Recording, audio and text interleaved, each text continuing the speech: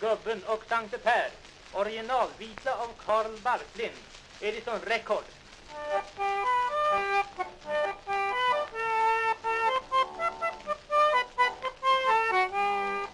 Det var en gång en gubbe, han bodde i ett hult Han har knappt ett hår igen på sin gamla skuld Tralalalala, tralalalala Han har knappt ett hår igen på sin gamla skuld för han hade en satans kärring som i hans lockar drog.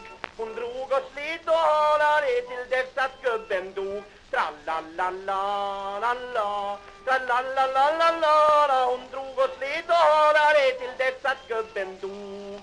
När gubben väl var död och lagde upp på bår så gick hans själ och irrade liksom ett vilset får. Tralalalalala Tra-la-la-la-la-la Så gick hans själ och irrade liksom ett vilset får. Då mötte han Sankt Petrus som står vid himlens port.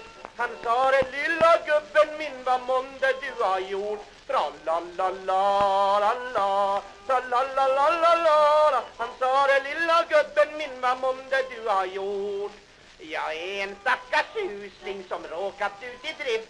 För jag i mitt arma liv en gång har varit gift. Tralalalalala Tralalalalala För jag i mitt arma liv en gång har varit gift. Sankt Petrus kunde fatta en sådan lott som den och sa det var välkommen till mig i himmelen. Tralalalalala Tralalalalala Och sa det var välkommen till mig i himmelen. Nog längtar jag, sa gubben ifrån hans släp och slit men jag går ej i himmelrik om kärringen kommer dit. Tralalalala, tralalalala Jag går ej i himmelrik om kärringen kommer dit.